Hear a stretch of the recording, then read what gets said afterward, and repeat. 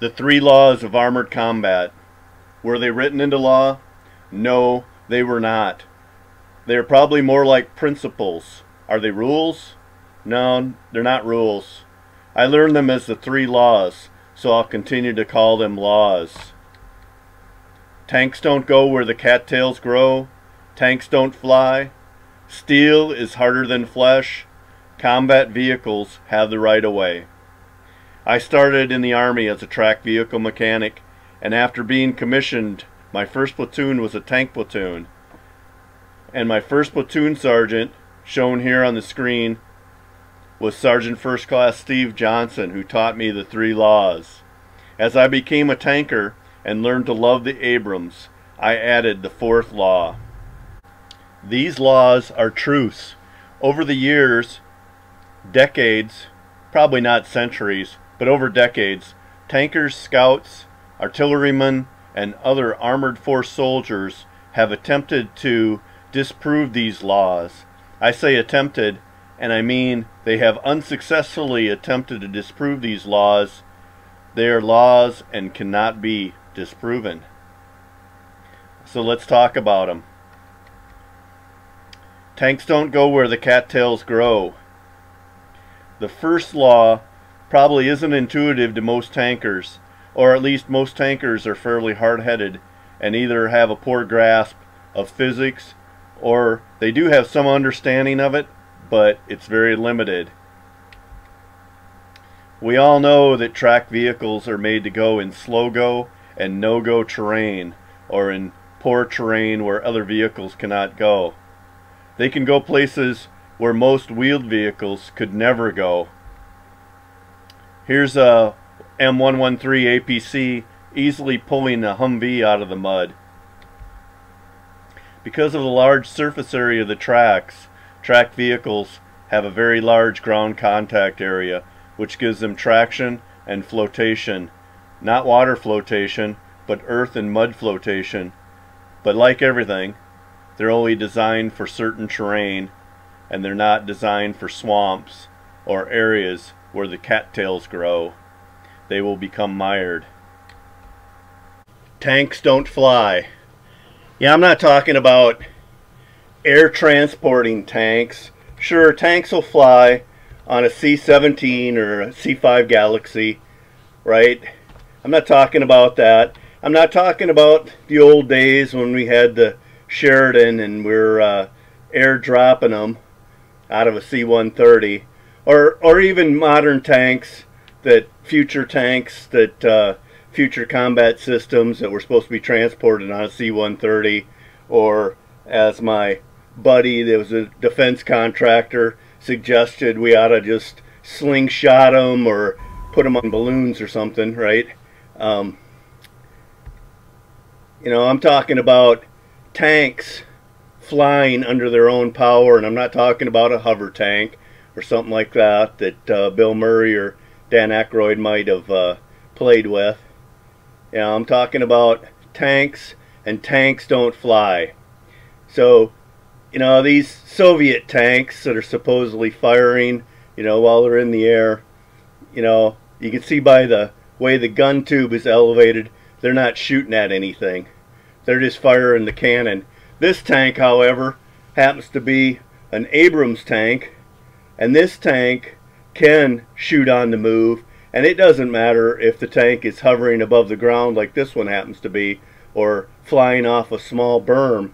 This tank has a stabilized turret a stabilized gun system that can shoot on the move so it really doesn't matter to the weapon system whether it's in the air or not.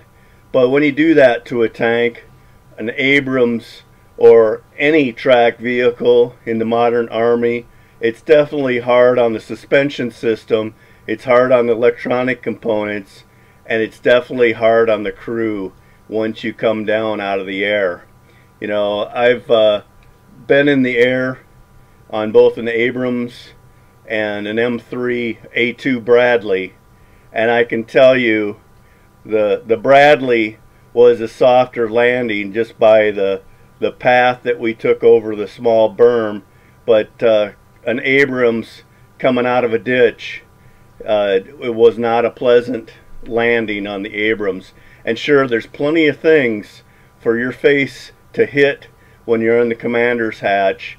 You know, the, the gunner might be up against his brow pad and the driver might be laid back, but the loader, he's either standing up or attempting to sit down. His life is not happy when you come down off the air. And the TC in his hatch, you know, he's got nothing to uh, hold him back but his, his two paws that he's got in front of him. And uh, you can easily bump your face into a number of things, including 50 cal mounts, that cupola ring, or the freaking sight that's in front of him, the gunner's sight extension that's in front of him. It just isn't a happy situation. So tanks don't fly. Steel is harder than flesh. Now, do I need, really need to elaborate on this one? You know, tankers are continually trying to prove that steel is not harder than flesh. You know, it's like when a new tanker is always bumping their head on something. You know, you have a CVC helmet. This is, offers the best protection for any body component inside the tank. Is a combat vehicle crewman helmet. It's padded. It's it's either got a, a Kevlar shell or it's got a fiberglass shell. This one happens to have a Kevlar shell on it to offer some ballistic protection. But even with the the other shell, it offers a lot of protection from bumps and bangs. It's uh, really fairly good. Of course, it doesn't have any kind of a face shield. So like I was just saying about flying the tank, you can still bump your face into stuff. Now your your elbows, your forearms, your knee shins, your knees, all suffer when you're inside a tank. There's there's no soft edges inside a tank or on the outside of a tank. You're always bumping into them. You know, there's a number of Army safety messages that talk about tank crewmen and how tank crewmen are getting hurt on tanks or tracked vehicles. One especially is hatches. The hatches need to always be locked in the open or closed position. Crewmen are always getting hurt and or killed by hatches, but uh, steel is definitely harder than flesh, and tankers uh, prove that over and over again.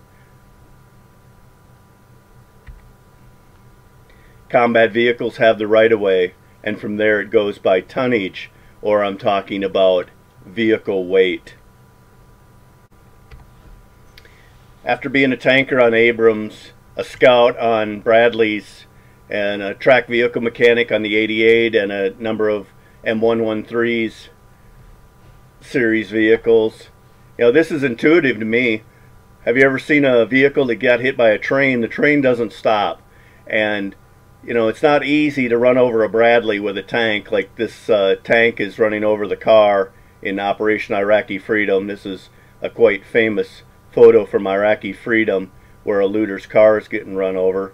Probably not justified in uh, destroying his vehicle, but uh, a very famous photo nonetheless, whether uh, what side of the controversy you stand on. Anyway, uh, the Abrams definitely has the right of way in any situation. And of course from there it goes by vehicle weight. So that's the three laws. Tanks don't go where the cattails grow. Tanks don't fly. Steel is harder than flesh. Combat vehicles have the right of way. Now, that this is concluding the video. I'm wrapping it up. Um, before I go, I want to tell you that uh, at Stiles Automotive, I do general automotive work, modifications, and tips. I've also got an adventure series where I talk about my love of the great outdoors. And this is really some of the first videos in my military series. And I plan to do some other videos, maybe talking about uh, some of my knowledge of things like apricots and um, maybe do some FMG guidance on what things I can teach you to, for a new soldier. And um, before I go, this last little bit though, I think I'm going to talk about Steve Johnson some more. So Steve is a tanker's tanker. He may not look like much here in this uh, picture, some of the fuzzy pictures, but Steve taught me as a new lieutenant to be a tanker. And uh, we spent many hours in the Conduct of Fire trainer where Steve taught my gunner and I how to shoot, how to uh, use the weapon system. And Steve may look like a he's a little goofy here, but he does have a, a serious side, and he is an awesome tanker. He uh, does have a goofy sense of humor. And I'd like to tell you just a, a couple of stories about Steve, if I might. Um, Staff Sergeant Malcolm Kirby was having a tough time on the Table 8 range. He had uh, unsuccessfully navigated the, the day table on Tank Table 8, the night table, and then all day during the day table and was getting ready to make his first run for the night shoot. And Sergeant Kirby and his crew had not fired one round. So something came up. Every time he attempted to go down range he could not shoot a bullet down range from what I remember. And I was up in the tower Sergeant First Class Johnson was also up in the tower he told the tower operator the OIC of the tower to have Sergeant Kirby pull up to the base of the tower and stop. So Sergeant Kirby was pulling his tank up to the base of the tower on the ready line down at Fort Stewart. Steve went down to the base of the tower and he you know used the methods he used was sometimes vulgar sometimes maybe a little uh, profane, maybe a little uh, weird, but uh, the techniques he used were questionable when I first saw him, but uh, he bestowed some kind of a blessing on that crew. And once they went down range that night, they had a perfect night run. So um, I saw what he did. It was uh, it was obscene. It was uh, probably rated more than rated R. It was probably rated X or maybe triple X. I don't know. Whatever you would, uh, how you'd classify what Steve did down there that night. But uh, the results were that uh, Sergeant Kirby and his crew had a perfect night run. So you can't question that when you when you're talking results, right? So another story about Steve years before I met him. Thank God, years before I met him. Um, Steve was one of the guys that was out in the field. He was a platoon sergeant, so he went uh, on these field exercises. He'd go without sleep for many nights, and of course, the first sergeant, first sergeant driver, and the commander's driver, they all got plenty of sleep. And um, when we're down at Fort Stewart, usually after an exercise, a lot of times my uh, company, Delta Company, went out to Savannah for um, an evening meal. We'd get some time off. Didn't get a lot of time off while we were down there. But years previous to when I got there, they did the same thing. And Steve went out with the, the two drivers and the first sergeant. And they went to an Irish pub down on the waterfront down in Savannah. Had some potato soup or whatever, maybe a beer. Um, Steve was dog tired. Of course, he was not drunk. He might have had a beer. Steve was known to have a beer or two, but you know he had he was an adult. He had to go back to work the next day, so he definitely was not drunk. But on the trip home, Steve fell asleep, and it was a sleep that was a sound sleep. He was in the back seat of the car, and um, his buddy that was back there happened to have a Sharpie pen and thought it would be hilarious to highlight Steve's mustache. So he blackened Steve's mustache. Of course, everybody in the car thought that was hilarious, so he drew glasses on Steve with a Sharpie pen that was a permanent pen and added other things. Of course, Steve was wearing a t-shirt and khaki shorts that night, and um, a penis was drawn on his leg that stuck out from his shorts, and then a number of other things. So, usually about this point in the story, when people are telling the story about Steve, they'll say, you'll hear somebody in the crowd will say, yeah, I remember that. I was there the next morning and you could hear him scream. Well, the next morning, when Steve got up and went to the latrine and saw himself in the mirror, I guess he screamed that could be heard all over Fort Stewart. And the story goes on to say that uh, Steve then used a green pad and Ajax and attempted to get it off of everywhere that uh, he could scrub that would be seen outside the uniform. And uh, I guess he gave himself a pretty good red rash. He looked like he had a severe sunburn all over his face. And uh, he was not happy. But the story continues and has a happy ending. So in the end, Steve paid back those three individuals over time.